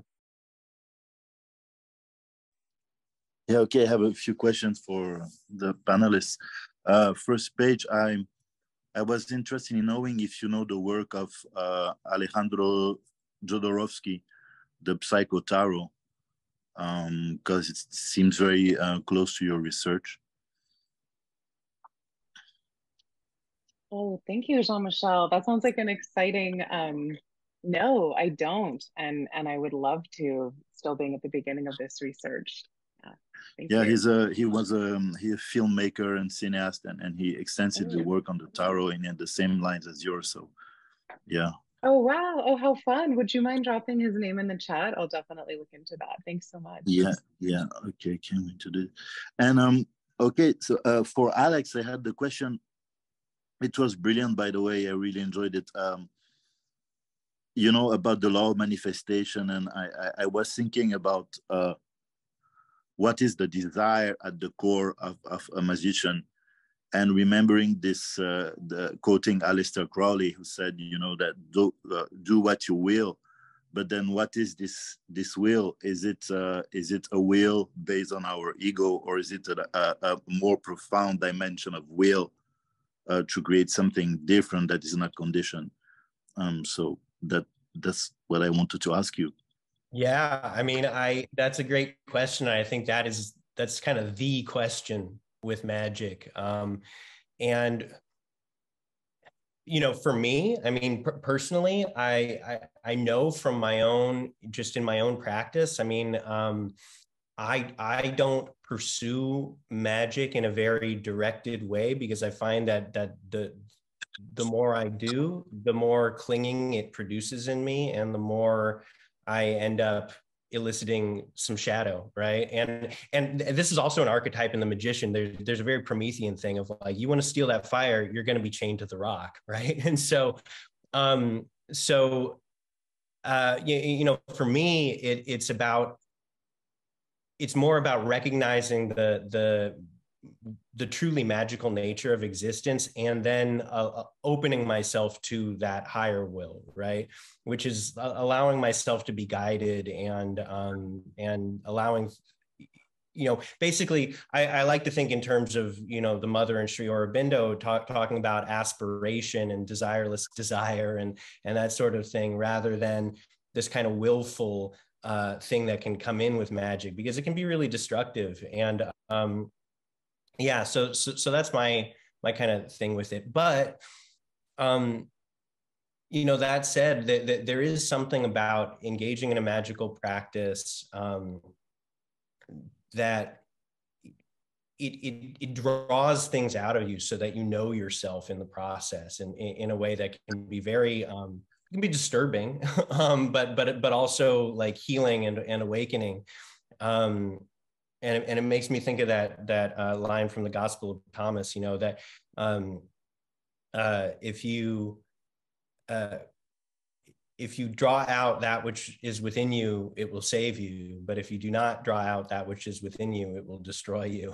And you know, the, so, so, the engaging with magic is a kind of a high stakes kind of um, like way of living in reality. Um, but but I I just I just make a practice of seeing the world as magical and almost living in a divinatory sort of a way, just just a way of looking at the world that goes, oh, okay, well, what was that? Like, what was that? And just kind of not trying to analyze, but to to let it keep opening me. So, yeah, thanks for the question. Mm-hmm. Fantastic, thank you. Thank I don't you. know if if I, I can ask my question to Jonathan or if I should leave space for someone else. No, it's okay. Okay. Yeah. Well, Jonathan, thank you so much. So brilliant. And as a musician, I've been asking those questions also for myself. Um, regarding, you know, philosophy and, and music, then what I wanted to ask you is that, I mean, mathematics somehow has been the, the I mean, music has been a, is a, also a subjective experience of, of mathematics uh, in this sense, it has been uh, lived like that up to now. So then, if if we are if we are going beyond uh, beyond philosophy as as music as uh, musicians, uh, does that mean that we we are going beyond mathematics, or or or uh, changing our relation to time then? which which brings the the the, the i mean the question underlying this i guess is the are the archetypes determining our our uh, creativity completely or or do we have to to go beyond the archetypal word to really find a new space in creativity? I don't know if that all that makes sense but that's what aroused aroused me. Um, yeah interesting. Yeah. Thanks Jean-Michel. Um yeah i mean i think that that's that kind of slide that i i shared uh, talking about axiomatic or problematic formalization. I mean, archetypes is a type of formalization, and I think that it's it's it's kind of a fine nuance to what Laruelle is trying to do because I mean, in in one sense, if we accept archetypal realm on authority and as an absolute, and that's posited for us, and we search for solutions within that, or we're told this is your problem, now now find a solution. And then i will tell you if your solution is right or wrong. This is and i think that it's kind of like the habits that mm. have kind of codified in our times that's kind of what you know that's i feel i resonate with as that is what i have is somewhat inherited. Now we all know inside that that's that doesn't make a lot of sense. And so it's not as black and white as that. It's more like how can we how can we just make very sure that we are not um this isn't an absolute ceiling. This is just uh these are just like what he would call fictions. And that's you know it's it's sort of like it's material to be used to be to be used in whatever way it comes comes through. So i think that's where i mean definitely and anything in our lives any any kind of discipline we're involved in i think that's i, I tried to share these diagrams because it did help me in the sense of like what is it in my life that is is really I haven't questioned from a certain place, or it's in me, and it's like kind of somehow in in me in the way I think, the way I am, the way I kind of synthesize reality, and I, and I go forward in, in in my life. That's that's I'm I'm assuming that as just being that's just the way, you know. Like mm-hmm. I had a lot a much longer presentation uh, organized, um, but it brought in Deleuze's idea of the dogmatic image of thought and going very deeply into how that comes up as good sense and common sense which i think we can all again it's an experience that we can relate to and say well this is just common sense so i'll start from here and go forward. And it's like no that's that's that's the opposite. That's we're accepting some kind of a, a formalism which will which is really not allowing us to kind of to find our own problematic i guess. That's that's really was the the, the point. So archetypes can serve us and they can also imprison us. It's it's the pharmakon of of image. It's the pharmakon of of of concept and and thinking in a way. So i think i think that's where it's like if we think about what we want to do with materials then that's again it's like is that is that circularity happening where we're kind of imprisoning ourselves in the self-reflective act of of of that turning back rather than thinking through them becoming the archetype becoming the the sound becoming the be, just becoming the world in a very unidirectional way. But, so do you feel that through that you create another sense of community through sounds like you belong to you belong to a, a trans individual sonic groups that are new or i don't know yeah well we got to build these don't we i mean that's in the diagram I had. That was I didn't have a chance to. This was one thing I uh, didn't bring out, but in the in the one of the triangles, which which uh, had uh, something called the aleatory point, and that's really the idea that we're experimentally becoming together in a way that is unforeseeable, you know, and that's where um, it's it is quite radical in that sense. Like when we think politically uh, uh, from that perspective, it's it's it's completely different from what we understand as democracy. If we think ethically, it's completely different from a moral the moralities that we've inherited from kind of uh, from Orthodox religions, for instance. And when we think aesthetically, it's it's it's is different from that place of like this is what good music is according to common sense according to the musicologists so i think I think that it is a place that we have to hold that openness to the unknown and to the the new. We use the materials, we go deep into to traditions, but it's a, it's it's like a pluralist space um, that's based on that kind of that immanence, that metaphysics I was trying to bring out. Fabulous, thank you. Thanks, Jonathan. And thanks, Jean-Michel. Alexander? Uh, thank you. I have question to Alex. First of all, thank you so much for your thoughtful, deep, very interesting presentation. Um, I guess I have practical question. um, in the context of um, magic thinking, how we can walk or naturalize thinking, magic and thinking that was used by politicians to destroy human nature. And when I talk about this, I mentioned there's some research on Hitler and how used esoteric and false politics. And I know that uh, there's some research on Putin's politician. He's very, I mean, not his, maybe his circle very engaged in numerology and astrology and use this in some political actions. So how we can work with this um, mentality without destroying magic essence itself?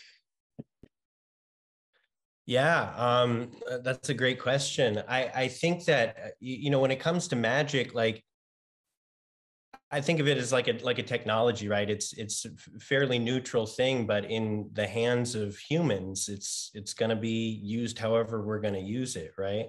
And um, and so you know that's that's why it's so important, just on an individual basis, to like I said earlier, to that that engaging with it will show you what's in you, right? If you've got uh, if, if you've got this strong desire to control and manipulate and dominate um, when you start messing around with with magical operations like you, you are going to find that that whoa it's it's going to pull that out of you and some people just want to ride that wave and do it um, but just because that is a possibility uh, doesn't mean that it is it, it, should be suppressed because of course then anything that we suppress is just going to have its own kind of boiling power to to mess with us anyway. So um so I think that that acknowledging the the fact of of magic as, as it as it as it really does play out in the world um that that even if you don't believe in in these kinds of things um that it's still something that that people do um like just acknowledging that is a is a is an invitation to take a deeper look at ourselves. Um, and, and that also, you, you know, in, in thinking about the, this idea that I have of, of mind spells, right? To, to recognize the malleability of the mind and, and how, you, you know, essentially I see magical work as, you know, a magician is kind of working with their own mind's malleability um, to to to make other things happen in the world. But by the same token our minds all of us are are are malleable to to all kinds of influences. And um so you know it's it's a it's a complicated thing but i think it's an invitation to recognize that uh the the necessity of of discovering aspects of ourselves that are beyond the mind. You know that that that it, that it's like a hardcore absolute necessity to to to realize that that we're not just that which is structured. And um and and fr- from that basis to to to realize that we, we might have more freedom to play this game differently than than we think. So thank you, thank.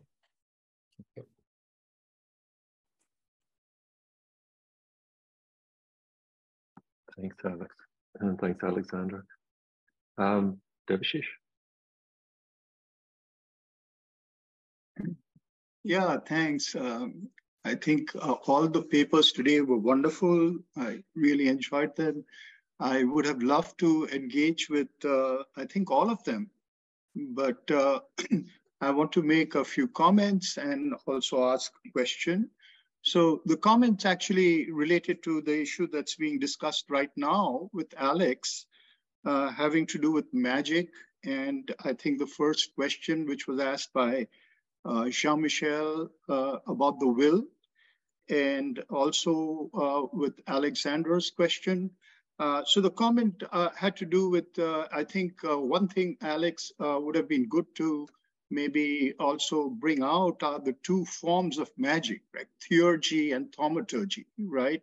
Where theurgy is really about embodying. Um, you, you don't assume that the world is just fair game for you to do whatever you want. Uh, whatever you're doing, um, even that assumption is really backgrounded by the fact that you're opening yourself to forces greater than yourself. So you're embodying without being conscious of what you're embodying. So I think both theurgy and thaumaturgy have to be um, acknowledged in magic, and you need to know what it is that you're embodying because it's not your will; it's some other will that that's the world is more fluid than we think it is, but it's also a play of wills. It's, it's, it's an active, dynamic play of wills that's precipitating events all the time. Uh, so I wanted to um, foreground that. And related to that, uh, I think all the talks uh, in this symposium have been trying to approach uh, something like a problematic of our times, what Jonathan was calling a problematic.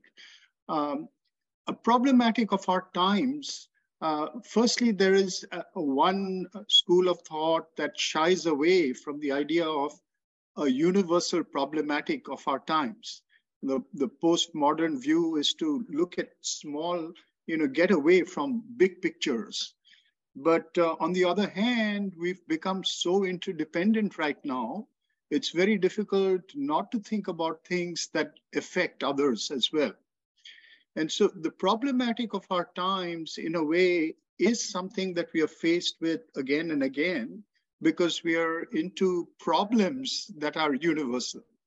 Uh, so, uh, one way of looking at the problematic of, of our times, I think Jonathan mentioned one way, which is the plane of immanence, in which radical pluralism and absolute monism are the same. Uh, but that's a philosophical statement uh, of of something which you know is magnetizing, attracting us. Uh, another way of thinking about the problematic of our times is this notion of objectification, which is a function of the mind. So all the talks in the symposium, in a way, were addressing and acknowledging the fact that uh, the human mind has become its own alien entity. When we are talking about, you know, can we see everything as nature, including human products? Um, yes, we can, but what has happened is that the mind of the human has objectified realities. In other words, it has made itself the subject and stood outside the entire complex of the forces that are running the world.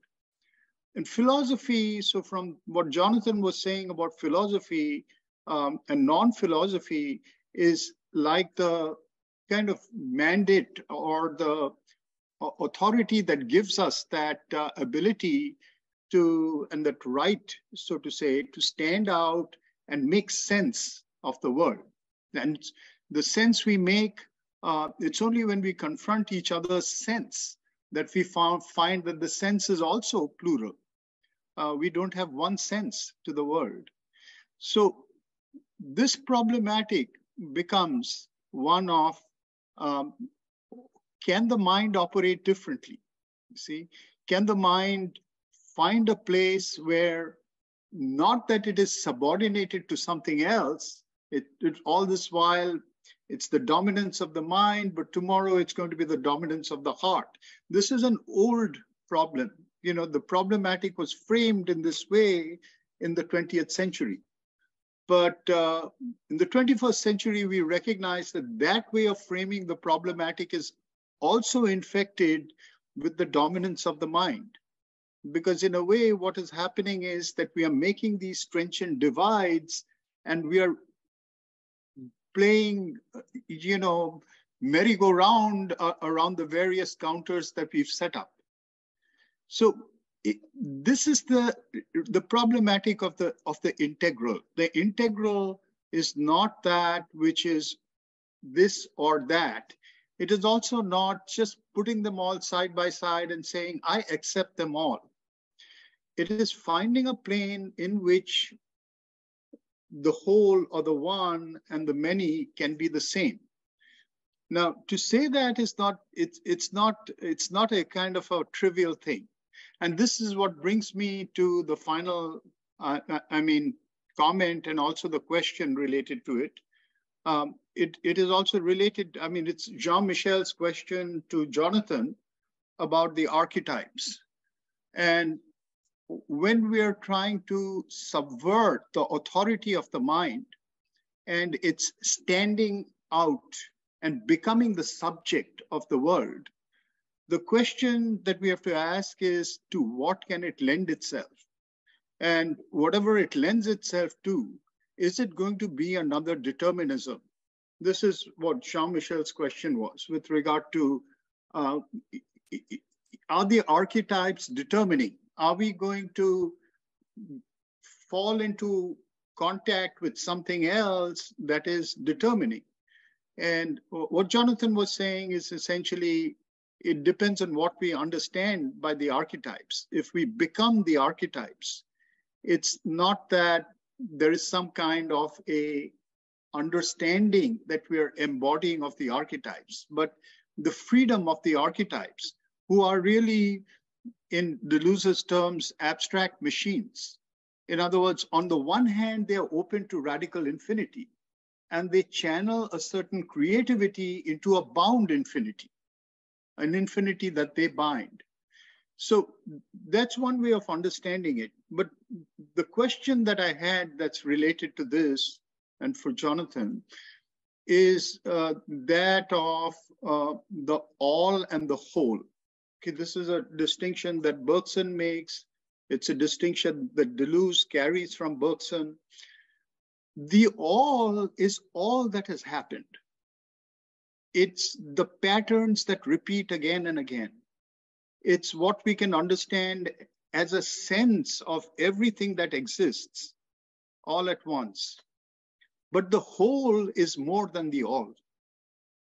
And this is what I wanted to ask you about how you see that distinction in terms of uh, finding a plane of immanence, of finding uh, a solution to the problematic of our times, not as an abstraction, but as a power of action in the here and now.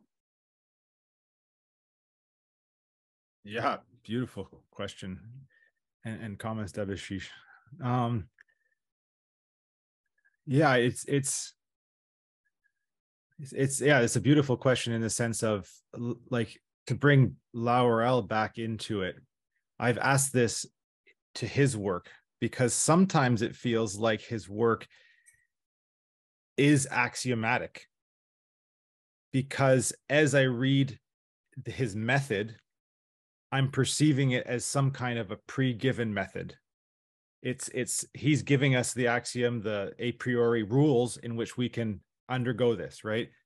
And it's i mean that that in that sense i guess it would be a hegemony of the of of the all um and i think that that's where there's a lot of critique of his work because he's very careful with language i believe but it also can feel very very dry. And it's like well wait wait a second. He's just saying that he wants a problematic uh immanent, or radically immanent problematic in which we act from but he's giving us an axiom to to work by.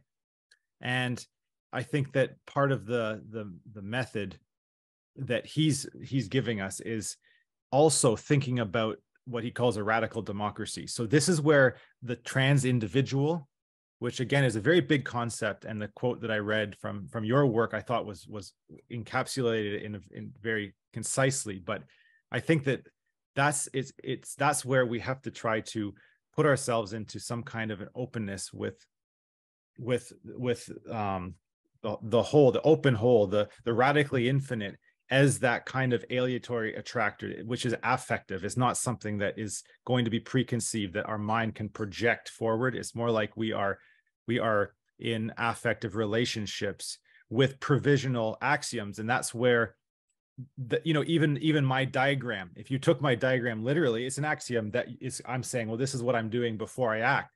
But i'm trying to express that this is this is a field of experimentation. And those even those terms ethic political um, uh, um, ethical political and aesthetic are not closed. They are open to that other side and those terms need to be open to the, the radical infinite that that they can they can kind of evoke in us.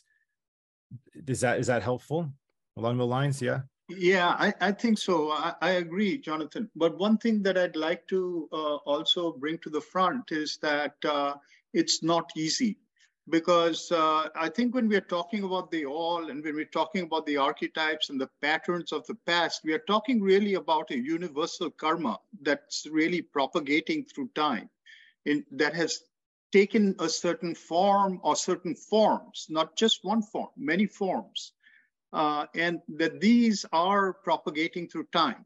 So when we, I think the term Gnostic was used, uh, you know, Gnosis, the Gnostic, uh, when we're talking about Gnostic, and we, we're also talking about East and West, one way of understanding East and West, I mean, one way of saying there's no East and West, but there is a way of understanding East and West in terms of the predominating uh, ideas that have um, influenced them through history.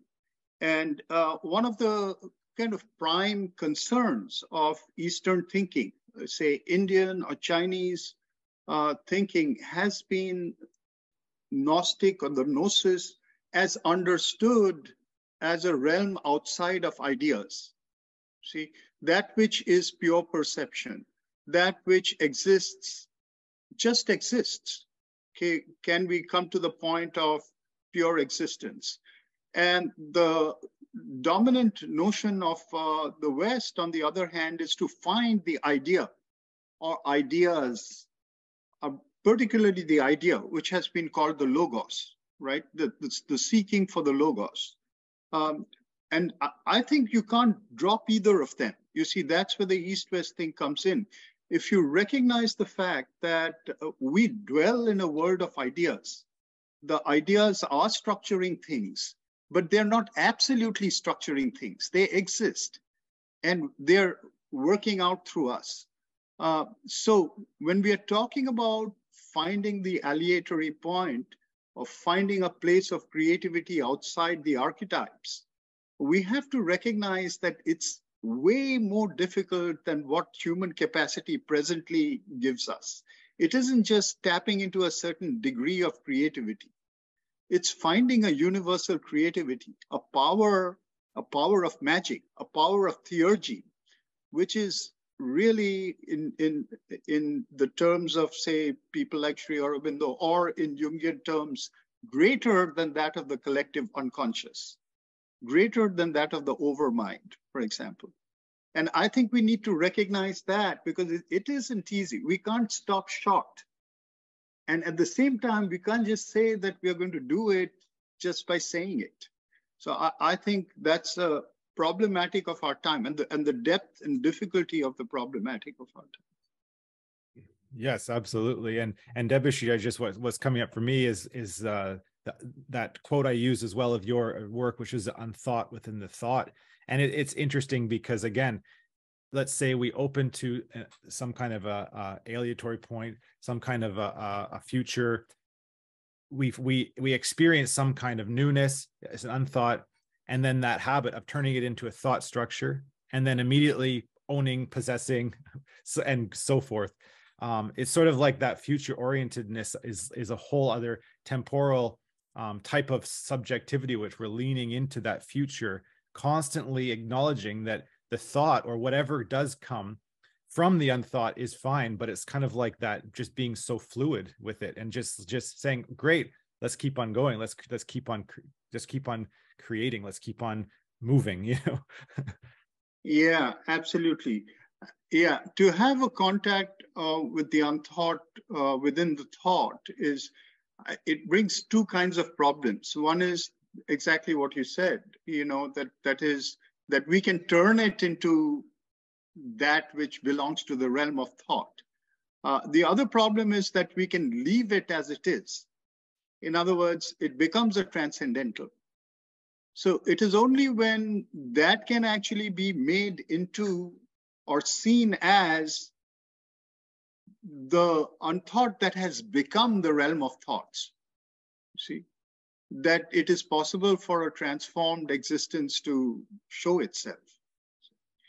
So I, I think that that making that link, that is Vijnana. That is really when we are talking about talking, when uh, I think uh, Peter Hoover's um, presentation yesterday, where he was talking about the body of wisdom or the body of knowledge, uh, that is the true gnosis, where you perceive now in terms of uh, that unthought within the thought having become the world of ideas, essentially. Thanks, Debashish. And I just just will say I, I shared the link to the article that I cited uh, because uh, somebody was asking, but I just think it's very relevant. It's a short piece that you wrote. I mean, four paragraphs, but as potent as, as it gets. So I just wanted everybody to have access to that. They're interested. And we are we are coming close to a time. Alex, do you have a short comment? Yeah, I mean, I don't really have time to to go deeply into it, but just to you, you know, to Debashish's point that it's um you know it's it, it's very hard to actually actually make the transformation that we're kind of pointing our, our finger at right and um in terms of thinking i've been thinking about this as relates to archetypes because i practice archetypal astrology and um you, you know just a, as an astrologer um i I see the way that you know 99.9999999% of the time with astrology there's this kind of trying to lock down on a on a rigid concept and define reality, define ourselves, define events in these terms. It's like, oh, look, I figured it out. I figured it out. That's why it's happening. Oh, thank God. You know, um, and and I've really trained myself to to not do that and and to see the the archetypes instead as instead of as being these these kind of categories that define things to be to being like portals that open us up to be able to perceive what we could not otherwise perceive. And it's a very delicate uh, balance with that but but it's possible. And I, and I think that that the whole thing you, you know whenever we start to engage with these kinds of practices that that open us to these dimensions the mind will almost want to come in like like as an allergic reaction to just go like you know okay i got i got something now and just grab on and, and define. But like the the the task is is rather to to continue to open out and let it let it bring us to you know like Sri Aurobindo's idea of the intuitive mentality that it that it's that the mind becomes that our thinking becomes a, a servant of this opening and um yeah so just wanted to offer that thank you there was alex i just want to add there was a, a moment in a conversation that was recorded privately between jung and one of his um, colleagues, clients. I, I don't know uh, what relationship she had to him, but she wrote a book which she had taken notes for a number of years when she met with him. And he was talking about the age of Aquarius. And he said, you know, the archetypes are in constant flux. They evolve the way that we, that, everything else in the universe evolves. They're not fixed. The idea that they're fixed is something that's come up in popular culture. It's like Caroline Myss's 72 archetypes. That that is that's kind of just a pop way of looking at it. And so she asked him about the age of Capricorn, and he said that he had a glimpse of it, intuitive glimpse of it, but that he couldn't encapsulate it because it was so foreign to our way of thinking. So we have to also understand that we are in embedded in, you know, we're born into a world that has that has many of these things in place, even though they're in process, because we live, we have such a small time frame that we're here to experience so God evolves, the universe evolves, ideas evolve, the archetypes evolve. And the aleatory point, if I understand it correctly, and I haven't read the same philosophy, Jonathan, that you and Devashish have been reading, it's ever receding. In, in, in Jung's way of looking at it, my understanding of this idea from what I've read of Sri Aurobindo and the Mother, that there's no more pralaya, it's not going to close any longer, that there's this long duration that takes place.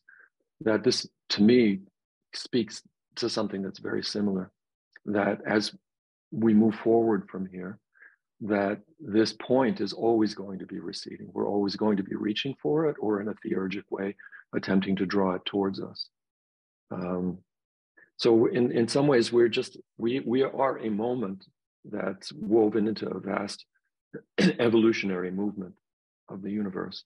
And as in magic is about reading that. Uh, the, the idea of imposing our own will is something the deeper I the deeper I get into the traditions, it's it's obviously there, excuse me. it's obviously there. It's obviously really important to take into account because uh, these any kind of siddhi or ability that you develop can be misused. But the deeper teachings are always about aligning oneself with what is, which is essentially the will of the divine, if you want to call it that, or God, if you want to call it that. And it's more about surrender. The practice is more about surrender than about the imposition of the individual's egoic will. You find that in Jung, you find that in Crowley, even in Aleister Crowley. Um, interesting. So, uh, Steph, I just wanted to comment briefly about about, about that. That at least, I mean, even that uh, that what you just said about the archetypes are always changing. It's an assumption because many traditions don't believe that.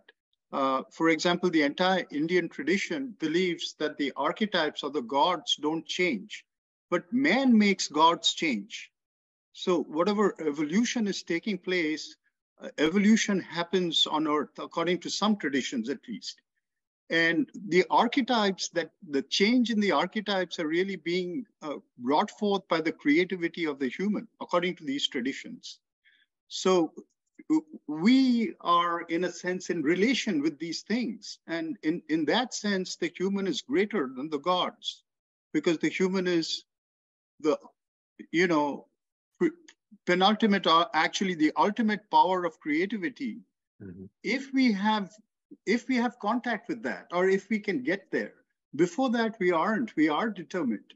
And we are determined by fixities that we can only partially change uh, according to these traditions at least.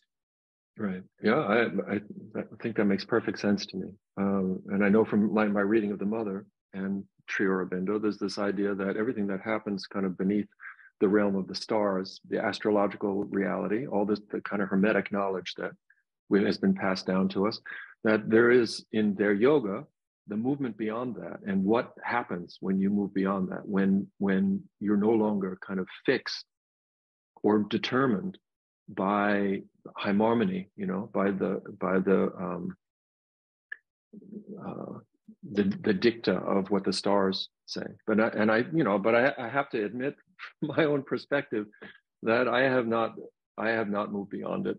In in intuitively, I think that I get glimpses of it, but I'm still working at kind of untying the knots at of of my own birth and this moment in time. And I, I like this idea of, I think what you're saying is really accurate that the that in, in certain traditions the gods don't change. There's a way in which all of all of the gods, if I understand Indian philosophy correctly, that all of the gods ultimately um,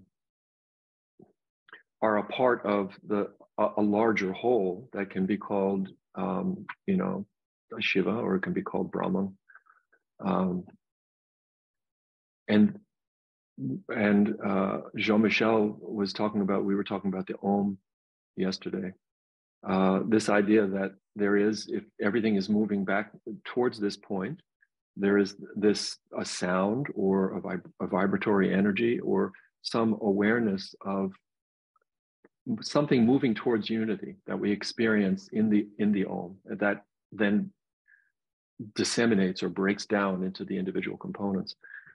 And I, I think that we can have that intuition, especially when we're doing these practices. And I think that I think that a lot of magic actually points towards that. At least Agrippa's magic is pointing towards that. But much of magical practice in the world is really about getting what one wants. Um, you know, Neville Goddard, this idea that you know the power of positive thought to achieve our ends, and it gets it gets kind of really muddy because it gets t- mixed up with the ego and desire.